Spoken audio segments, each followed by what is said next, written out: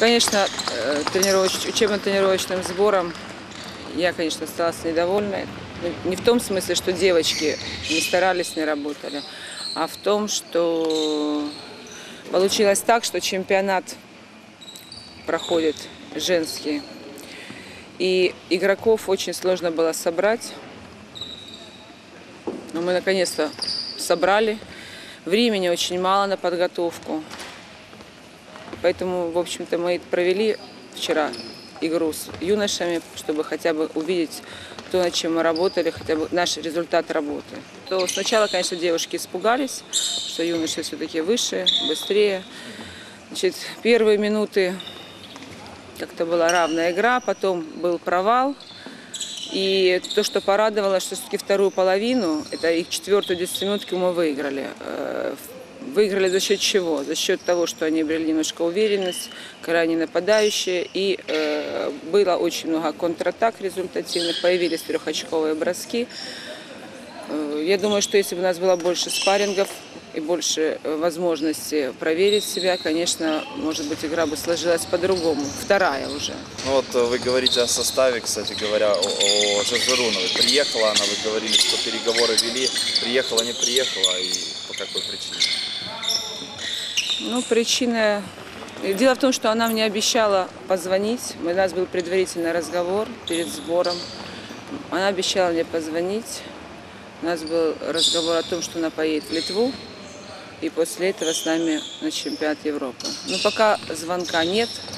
Значит, ну, не знаю, как сказать. Все-таки я надеюсь, что все-таки она будет в команде, потому что я на нее рассчитываю, рассчитываю девочки. В каком состоянии сейчас девушки, которые позже на спор подъехали, как их э, Дело в том, что не только девушки, которые позже, позже, которые приехали, э, видно травмы, которые за целый год накопились, не дают возможности в полную силу тренироваться.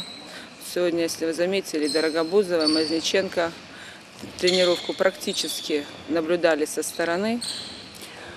Есть э, травмы после сезона у Самбурской, ну небольшие, но все равно они очень такие существенные. Есть у других игроков. Ну, нельзя сказать, что травма такая, что надо восстанавливаться долго, но все равно как-то хочется, чтобы проходил тренировочный процесс. И их восстановление после сезона как-то более, не знаю даже, как вам сказать, но чтобы это проходило и с нашей стороны, и со стороны врача, чтобы мы вместе принимали правильное решение, чтобы не перегрузить девочек. Все-таки конец сезона, хотелось бы, чтобы они были в нормальной форме. Что, а какие планы сейчас э, на турне в Польше и Литве? Ну, в Польше мы играем контрольные игры с э, командой сборной Польши. Какие задачи? Задачи, конечно, в первую очередь просмотреть еще раз состав, потому что много молодых девушек, вновь прибывших в команду. И хотелось посмотреть на них в разных ситуациях. И, допустим, когда сложная очко в очко игра идет, ну, по, по игре, как они себя проявят. Конечно же, все-таки хочется что и по защите очень-очень много всяких моментов, которые нужно дорабатывать.